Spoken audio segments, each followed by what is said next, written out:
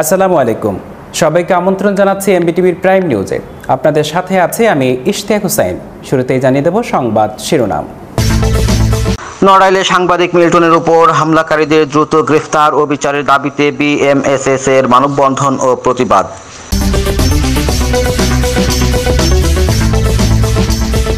শুনছিলেন সংবাদ শিরোনাম এবার বিস্তারিত। বাংলাদেশ মুফসল সাংবাদিক সোসাইটি বিএমএসএস এর কেন্দ্রীয় ত্রাণ ও পুনর্বাসন সম্পাদক নড়াইলের সাংবাদিক মিল্টন শেখের উপর হত্যার উদ্দেশ্যে হামলাকারী সিঙ্গাসলপুর ইউনিয়নের বড়গাতি গ্রামের সন্ত্রাসী, চাঁদাবাজ, মাদক ব্যবসায়ী ও একাধিক মামলার আসামি মনির সহ বাকি সকল আসামিদের বিচার পলাতকদের গ্রেফতার করে কঠোর শাস্তির দাবিতে এক মানববন্ধন ও প্রতিবাদ কর্মসূচি অনুষ্ঠিত হয়েছে।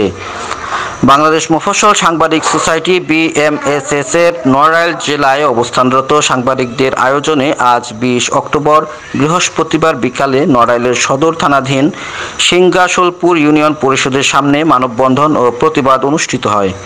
মানববন্ধনে সংগঠনের কেন্দ্রীয় ও খুলনা বিভাগীয় নেতৃবৃন্দ সহ ঢাকা, খুলনা, যশোর ও নড়াইলের শতাধিক সাংবাদিক উপস্থিত হয়ে অংশগ্রহণ করেন। সাংবাদিকদের মধ্যে উপস্থিত ছিলেন সুমি খান, এম মাহমুদুল হাসান নিপুন রাজিয়া সুলতানা তুর্না, সৈয়দ রমজান আলী, বিশারদ হোসেন রাজা। খুলনা, যশোর ও নড়াইলের প্রায় শতাধিক সাংবাদিকবৃন্দ এ সময় সচিত হন। এ সময় সভাপতির বক্তব্যে বিএমএসএস এর চেয়ারম্যান খন্দকার আসিফুর রহমান বলেন সাংবাদিক মিল্টনের উপর হামলাকারী সন্ত্রাসীদের দৃষ্টান্তমূলক শাস্তি দাবি করছি। আসামিরা জামিনে এসে ভিকটিম সাংবাদিক মিল্টনকে হুমকি দিচ্ছে।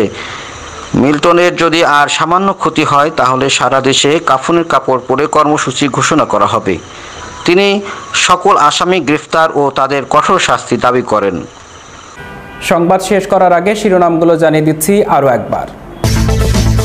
নড়াইলে সাংবাদিক মিল্টনের উপর হামলাকারীদের দ্রুত গ্রেফতার ও বিচারের দাবিতে বিএমএসএস এর মানববন্ধন ও প্রতিবাদ।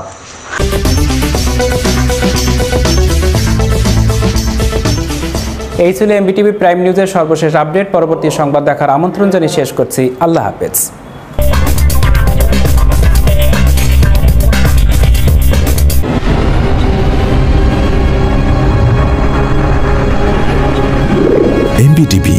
প্রযুক্তির পথে আগামীর বিশ্ব।